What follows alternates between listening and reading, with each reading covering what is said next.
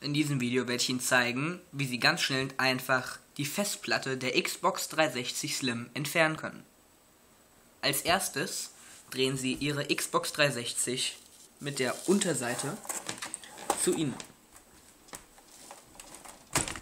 Seien Sie dabei vorsichtig, dass das Gehäuse nicht zerkratzt. Hier sehen Sie einen kleinen Umlegschalter, den drücken Sie runter und Sie können dann diese Luke entnehmen. So. Hier ist ein kleines Zipfelchen. Ziehen Sie einfach dran. Mit Gefühl. Und Ihre Festplatte kommt raus. Nun, wenn Sie Ihre Festplatte entfernt haben, tun Sie einfach das Stück Plastik wieder zurück und drehen Sie wieder Ihre Xbox 360 normal. Vielen Dank fürs Zuschauen.